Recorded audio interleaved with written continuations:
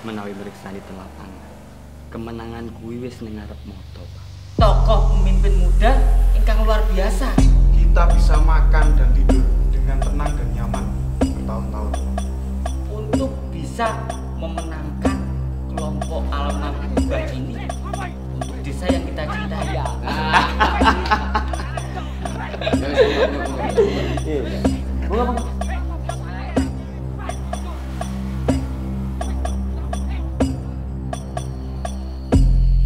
Pak Le, kalih bapak niku pun keterlaluan.